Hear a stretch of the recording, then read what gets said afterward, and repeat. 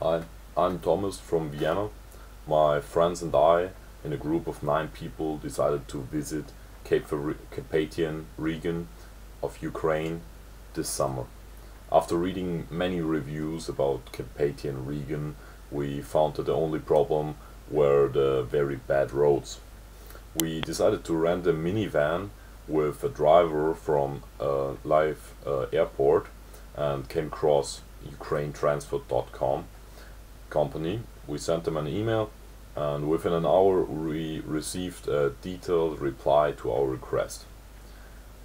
Ukrainetransfer.com offered our offered for us a four day trip for an amazing price 12 euro per person per day for a 900 kilometer trip.